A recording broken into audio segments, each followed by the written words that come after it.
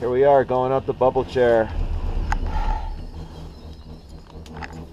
It's the longest bubble chair in the world.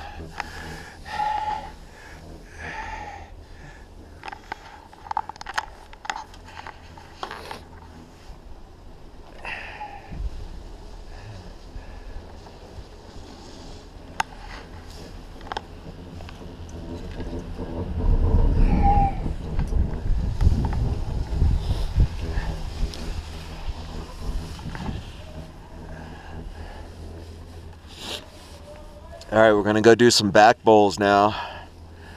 You ready? Yep.